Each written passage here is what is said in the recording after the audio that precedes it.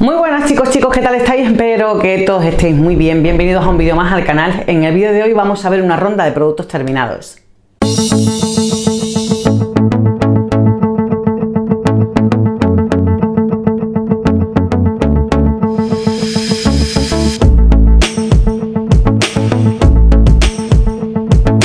Bien, como os he comentado, productos terminados, productos que vamos acabando y que necesitamos ya, eh, bueno, pues hacer una reseña, hablar profundamente de ellos y eh, deciros eh, realmente la opinión que me merece una vez que ya he acabado el producto. hay un poquito de todo, normalmente suelo coger entre 4 o 5 productos terminados para que el vídeo no sea muy largo, pero bueno, aunque hay mucho producto, realmente no dejan de ser esos 4 o 5 tipos de productos que he acabado, como pueden ser perfumes, serum, champús y eh, limpiadores faciales, ¿vale? Hay alguna, algún producto de maquillaje, solo uno, que no eh, deja de ser ese producto que se acaba rápidamente, que son las máscaras de pestañas. Así que vamos a comenzar. Eh, champús de Arganur, eh, me encantan, os lo he dicho infinidad de veces, han salido creo que en productos de novedades, en descubrimientos y creo que también en productos, no sé, no os recuerdo si ha salido en otro producto acabado, pero bueno, Arganur es una marca de cosmética natural que me gusta muchísimo, realmente se ha quedado, se ha quedado conmigo, eh, colaboro con ellos, tengo código de descuento, cosa que yo agradezco infinitamente y que uso muchísimos productos de esta marca, tanto en los cursos presenciales como para uso personal. Eh, los champús, evidentemente los uso personal, es decir, no los meto en un curso eh, de automaquillajes, esto, esto es algo personal y tengo que reponer eh, porque no puedo usar otro tipo de champús, tengo el cuero cabelludo sensible, me pica mucho. Entonces, sí, noto mucho la sensibilidad y bueno, mm, he estado probando los tres que tiene, no sé si tiene algún otro más, tengo que mirar en la web y me gustan un montón. Este, por ejemplo, que es para cabello normal, me ha gustado mucho, pero el que lleva ácido hialurónico que hidrata, ese ha sido uno de mis favoritos. También tengo el anticaída y creo que también el anticaspa, creo que sí he probado los cuatro y creo que sí he debido de meter esos dos en algún vídeo determinados porque no, los tengo arriba o creo que el anticaspa se lo ha quedado mi hijo eh, o, el antigra o el para cabello graso se lo ha quedado él, no sé, pero nos lo hemos repartido. Y yo me he quedado con estos dos y eh, me gustan muchísimo, tengo que eh, reponerlos. ¿Y qué es lo que yo he notado con este tipo de, eh, por ejemplo, el Well que es un champú para rejuvenecer? Pues lo que noto es mucha soltura en el pelo, un cabello limpio por más tiempo, el mantenimiento. El champú y los acondicionadores y las mascarillas es el mantenimiento del cabello, del cabello sano, un cabello suelto, un cabello con brillo, un cabello flexible, un cabello, pues no sé cómo deciros, pues más o menos como lo estáis viendo, ¿vale? Yo llevo decoloración, llevo mechas, entonces yo noto que se parte menos, noto que el cabello está, mm, me dura limpio durante más tiempo y con más soltura, no lo veo apelmazado, no me pica el cuero cabelludo, que es lo más importante para mí en un champú, que no me pica el cuero, el cuero cabelludo, que no tiene sulfatos, que hacen que el tinte no se me vaya claro, los sulfatos van arrastrando. Entonces, cuando nos aplicamos tintes, sobre todo de que no sean profesionales, que son de, supermercado, pues se nota mucho más. A mí con champús normal el tinte no me dura nada, o sea, nada. Yo a los tres días de haberme dado la raíz ya tengo otra vez la marca, o sea, ya tengo la cana fuera. Ya la cana es complicada de por sí, ¿verdad? Sí, sí.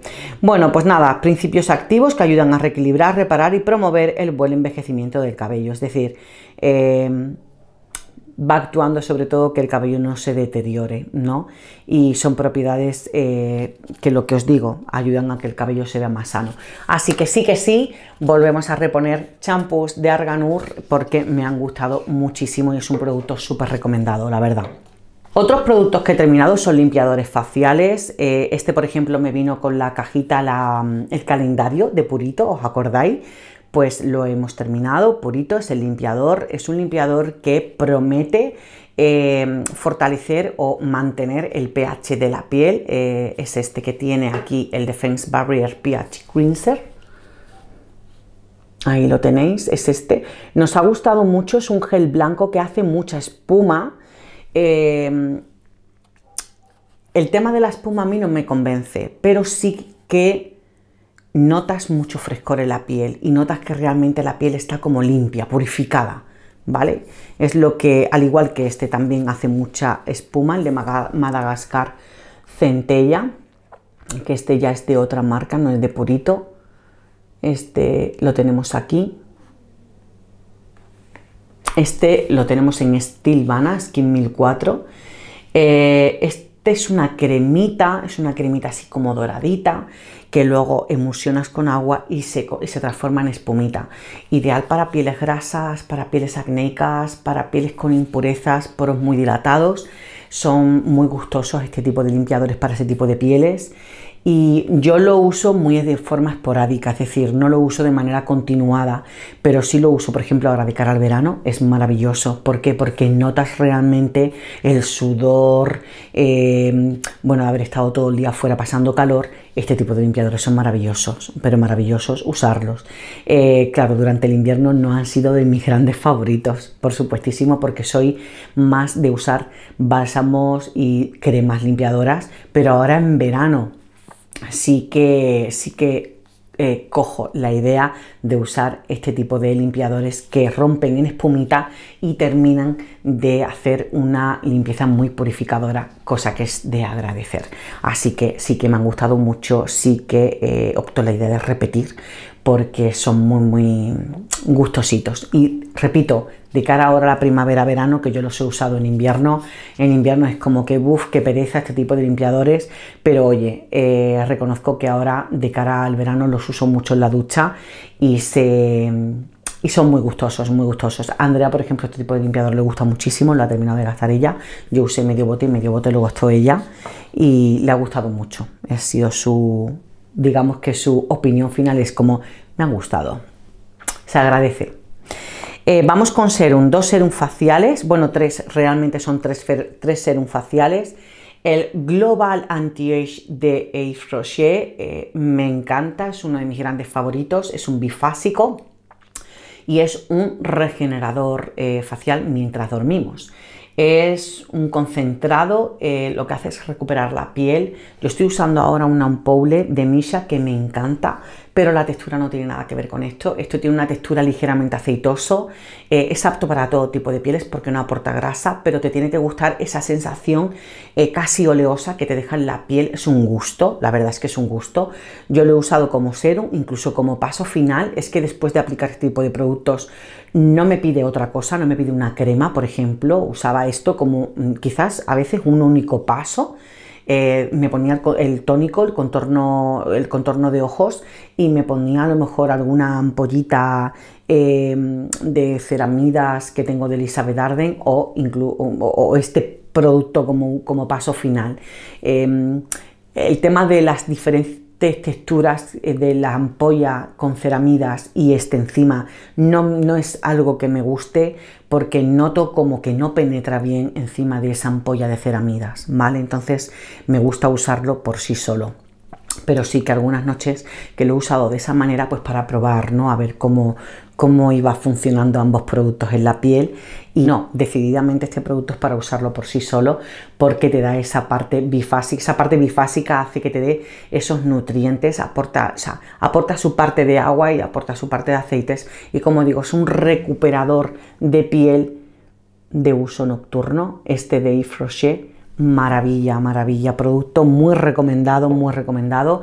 Yo ya tengo en, la despensa, tengo el, sustituto, es decir, lo repuse en una de las ofertas que me chivaron las chicas, así que nada. Y el otro es el de Mimate, es el, el Hathor Divinity de, de Mimate que pienso reponer en cuanto pueda porque os he dejado ahí un poquito de producto. El otro, como es un bifásico, no os puedo enseñar producto porque los bifásicos, eh, lo malo que tienen los bifásicos es que eh, a medida que vas gastando, bueno, sí, mira, ahí hay un poquito, a medida que vas gastando el producto, ¿veis? Ahí. Es como que no se ligan bien los componentes. Hay que agitar muchísimo, muchísimo en cada uso. ¿Veis? Esa luminosidad, esa textura, esa oleosidad, esa nutrición. Es que y luego el olor. Es que es una maravilla en bote este producto de verdad súper recomendado, el de Yves Rocher. Muy recomendado. Eh, si lo veis en la web, lo veis a un precio muy elevado, pero lo bueno es en los descuentos que ofrece la marca, ir a por él. Yo me lo llevé, pues mira, yo lo he visto casi a 60 euros o a 60 euros en la página web. Lo he llegado a ver, pero me lo compré por 23 euros. 23 o 32. Creo que por 32 ya no me acuerdo, pero muy económico. Creo que tenía un 40% de descuento, merece la pena. Y el Jator de Mímate, ¿qué deciros de este producto? A ver, tiene de todo, tiene un complejo antiedad maravillosísimo. Trabaja la textura, trabaja las manchas, trabaja eh, el minimizar la apariencia del poro, y que se vea menos visible, trabaja las líneas de expresión, trabaja la turgencia de la piel, trabaja la nutrición, la hidratación y trabaja también de adentro hacia afuera, de, dentro hacia afuera, perdón. Tiene, eh, bueno, tiene una composición brutal y tiene retinil, ¿vale? Tiene el retinil palmitate en los primeros ingredientes, cosa que eh, se nota, se nota muchísimo, te deja una tersura en la piel, pero a la vez una suavidad increíble con este producto eh, que es en textura serum, Ay, no quiero desperdiciar nada porque ahí me queda todavía un poquito que he querido dejar para enseñaros. Bueno, te deja una suavidad en la piel, como si te estuvieras poniendo aceite, pero sin saber que lleva nada de aceite. Porque no lleva nada de aceite, no es un producto bifásico, ¿vale? Es un serum. Bueno, es una maravilla cómo te deja la piel con ese efecto como si fuera, es una sensación de ponerte aceite, pero sin ponerte aceite, sin, sin la pegajosidad del aceite, sin la oleosidad del aceite, cosa que para estas personas que huyen un poquito de los aceites porque no les gusta la sensación aceitosa o el ponerse aceites en la piel, este, este tipo de producto es maravilloso. ¿Veis? Se queda una luminosidad en la piel, se absorbe súper bien, pero no te deja la piel seca. Es una maravilla de producto y te permite ponerte una crema nutritiva si te gusta ponerte la crema. Es decir, mm, yo sí que me he puesto crema encima de esto, ¿vale? Me he puesto crema e incluso me he puesto eh, otro tipo de serum que me lo permite, porque me lo permite la... Lo mismo que este no te lo permite porque tú tocas y notas esa oleosidad del aceite, este tú tocas y notas que está todo muy eh, absorbido, es decir, ha penetrado, ha penetrado. Así que esto es un productazo, pero un productazo que ha sacado eh, Cosmética Mimate. La verdad es que es un producto muy, muy a tener en cuenta. He acabado también el Blue Elixir Retinol Serum. Esto es, eh, lo tenemos en Min Cosmetics. Y este de Meisani, sabéis que es una marca que a mí me ha gustado mucho. El año pasado estuve todo el verano prácticamente usando la crema facial, que era una gel crema con un 4% de, niacinamida.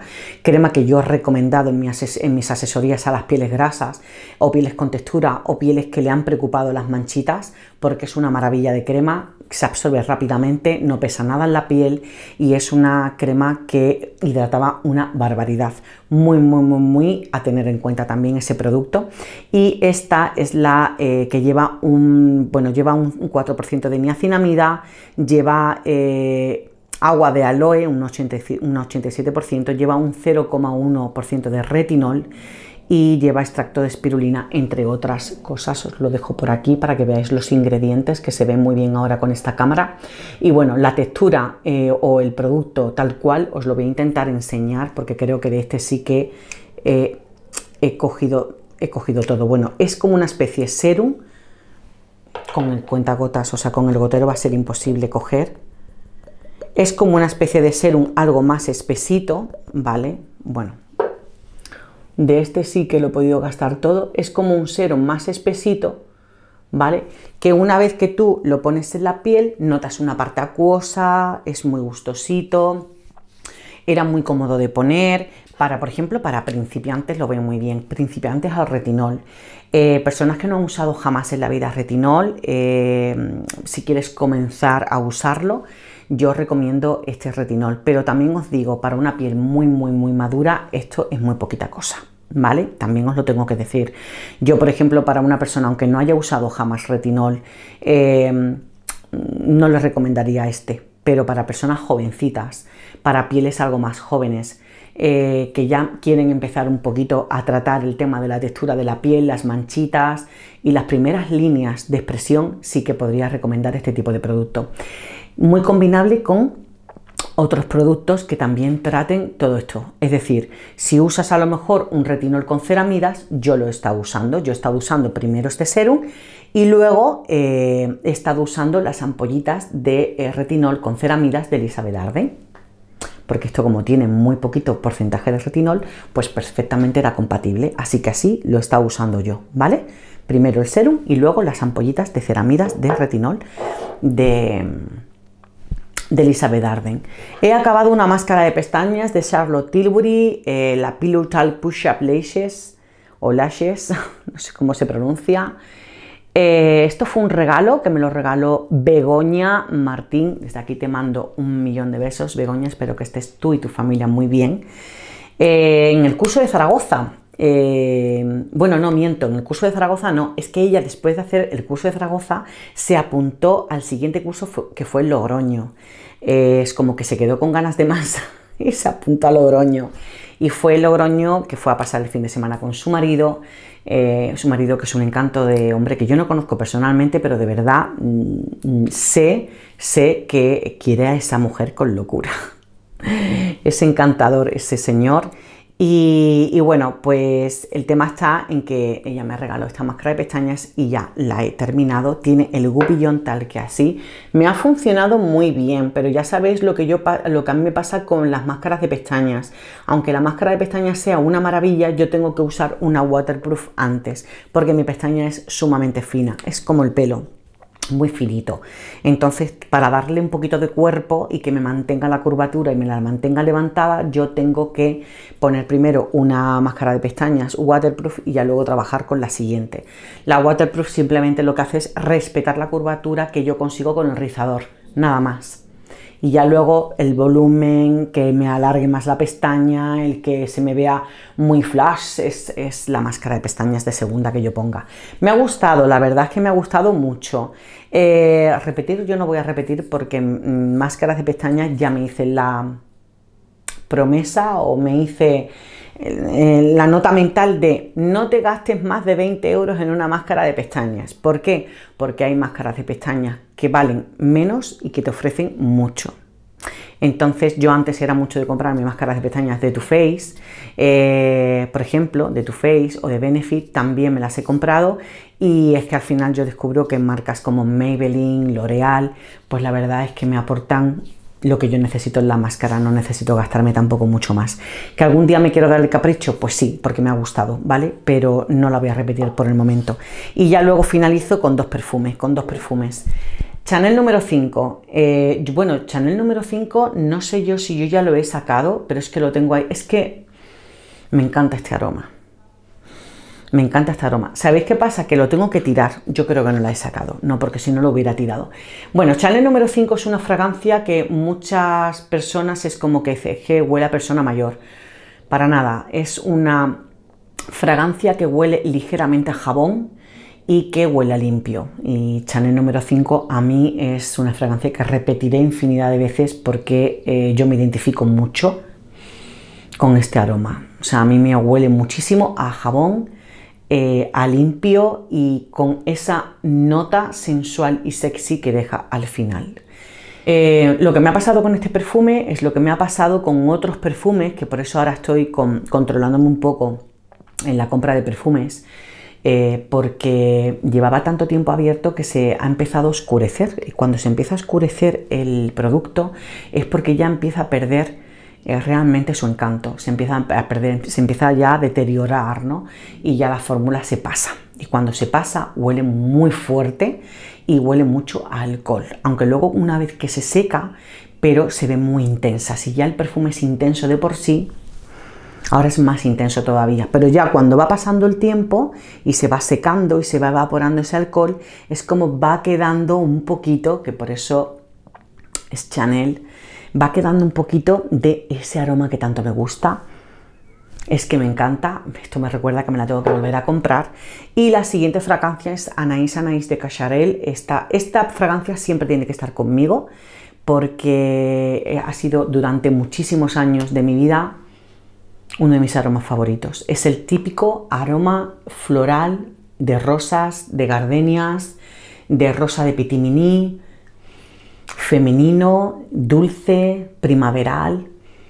Me encanta, me encanta este, esta fragancia y la he tenido en grandes, pequeños, minúsculos y bueno, pues es algo que no me puede faltar y ambas fragancias las tengo que reponer porque sí, porque son fragancias que en mi tocador siempre tienen que estar. Ahora no dejo de olerme el brazo, ¿eh? que me he echado el Chanel.